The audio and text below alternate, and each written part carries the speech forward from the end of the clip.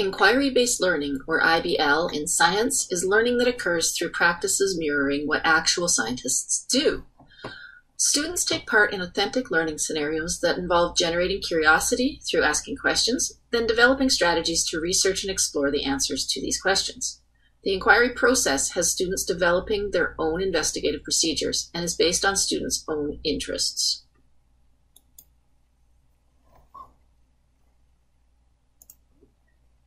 Recently, IBL in science has gained momentum and support because this approach has the potential to facilitate more positive students' attitudes towards science and a deeper student understanding of science concepts. In a 2020 literature review of inquiry-based mobile learning in secondary science education, Liu et al. described four levels of inquiry as confirmation, structured, guided, and open. The confirmation and structured inquiries most resemble traditional teacher-led laboratory procedures, where students are given the lab purposes and procedures, while the guided and open inquiries are increasingly student-led, with greater opportunities for the development of science reasoning skills.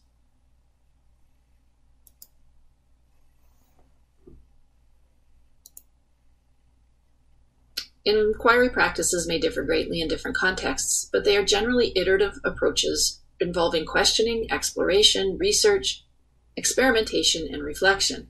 One model that follows this learning cycle approach is the 5E instructional model, a constructivist framework that breaks the inquiry process down into the phases engage, explore, explain, elaborate, and evaluate.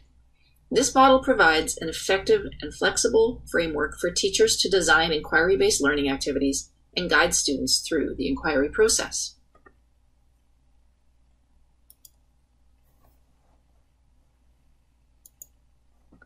Interest in the diverse possibilities of mobile learning is emerging in education, particularly to support inquiry-based approaches, with mobile learning being considered anything supported by handheld technologies.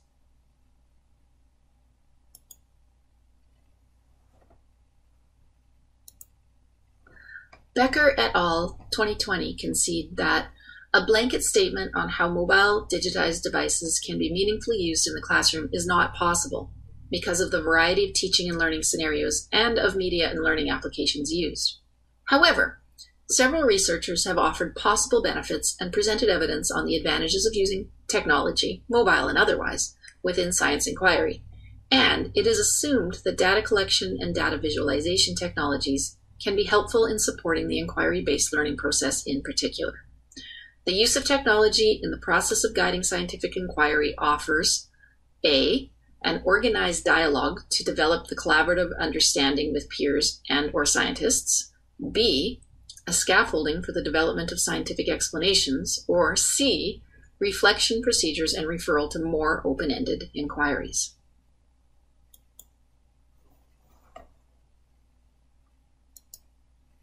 When we add mobile devices into the mix, the possibilities for authentic inquiry open to include spaces and times beyond the classroom in different learning contexts.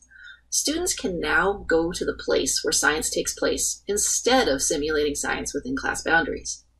Compared to online computer simulations and traditional in-class laboratory experiments, the portability of mobile devices provides more flexibility for students to select their own experimental variables and explore different models of concepts.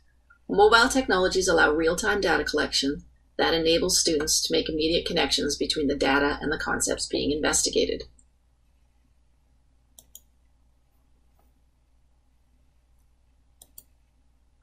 Many mobile technologies being developed include adaptive learning capabilities to provide feedback and monitor student progress, or provide platforms through which students can collaborate and communicate whereas other devices may simply enable students to gather data, such as pH or temperature, in time-efficient ways. Whether the technologies involved have their own software or whether they're simple sensing devices, an important consideration is that the technologies are not simply added because of their novelty, but are part of carefully considered pedagogical approaches with teacher guidance and support.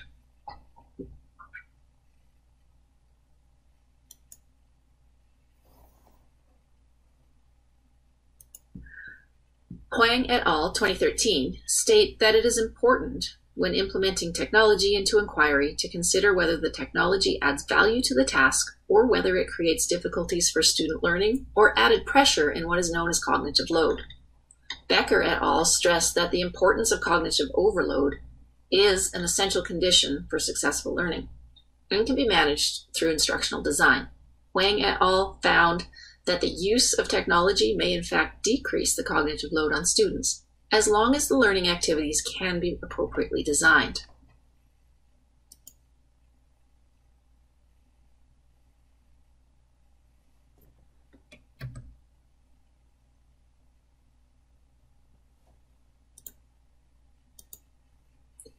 With so much available technology, mobile apps, and digitized devices, how can educators enable the successful adoption of M-learning for science inquiry? Burden and Kearney, 2016, warn that teachers have a tendency to default to traditional teaching approaches. They provide a framework for M-learning with the components personalized, collaborative, and authentic. Personalization allows student agency. Collaboration draws on the social nature of constructing knowledge and authenticity provides a situated learning context from which students can gain real world experience, skills, and perspectives.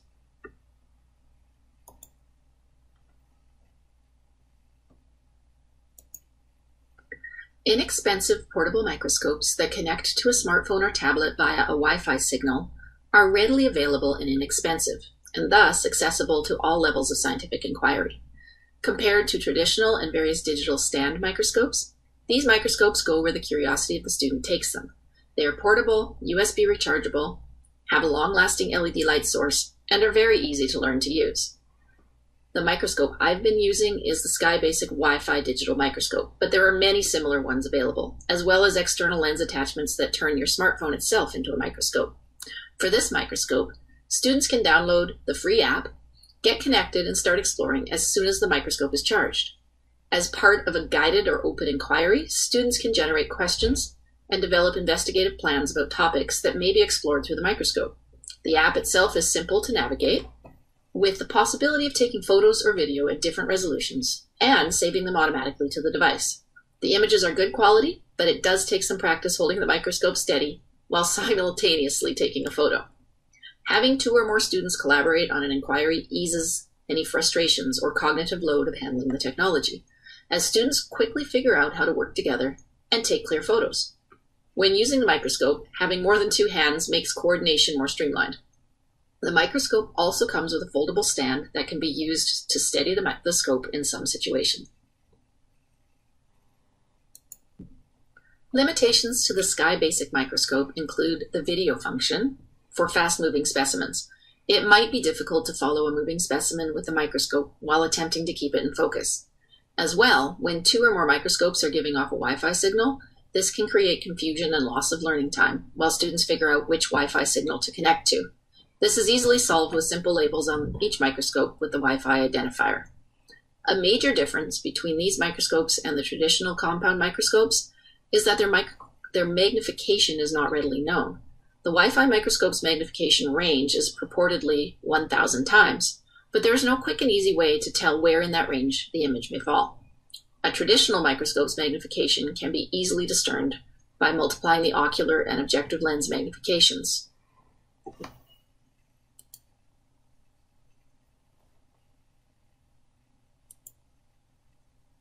As you can see, I have the portable microscope set up on a stand and some specimens that I might want to look at.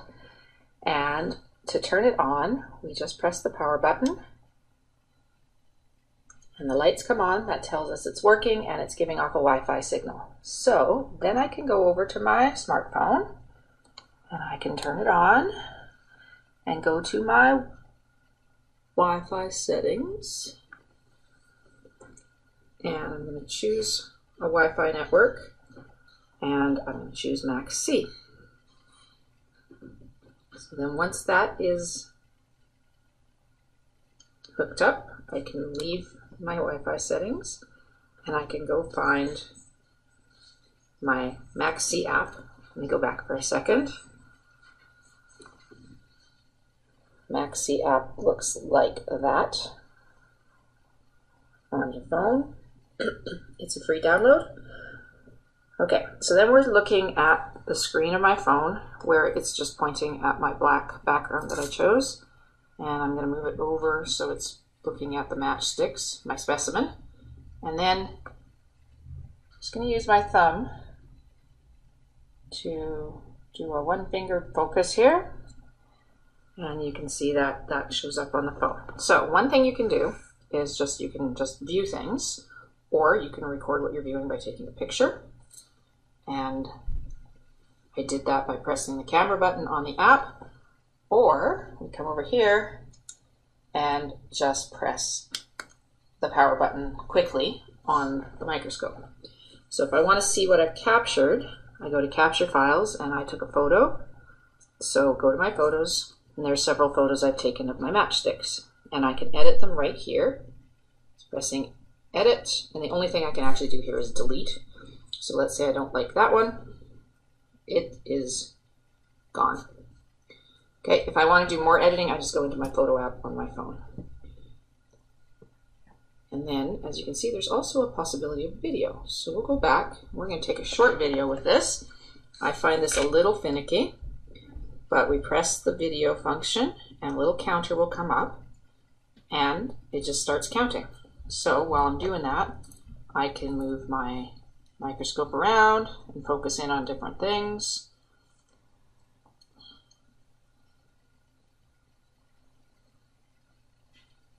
Or look at a new sample. So I have some salt here, looking at some salt crystals.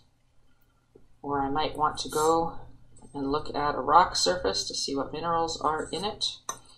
And that requires me to lift it up a bit and do some focus. Okay, so anywhere in there I could stop and take a picture. We'll go back to the match heads.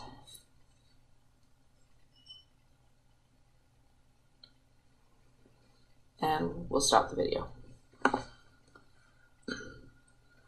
Okay, so to see my captured video, back to capture files, go to videos, and perhaps I want to take a look at it, play it forward, see how my video looks. Okay. So it is an extremely simple app. There's a few little features, so I can rotate 180, gives me a different view of the match, Uh, matchsticks. And I can play with the resolution a little bit. So we have a choice of resolutions. And then you just go up. Another thing you can do is on the back of the microscope, there is a zoom in, in and out function. So you can just press the plus or the minus to get a closer or slightly farther picture. And that's basically how are you're going to use it.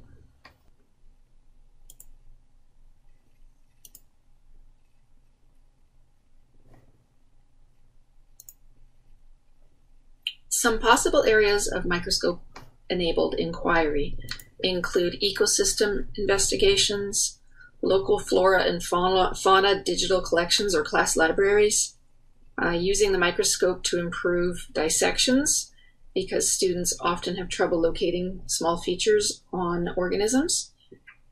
Uh, doing forensic investigations or mock crime scenes where students can compare fibers, fingerprints, hair samples, and other evidence.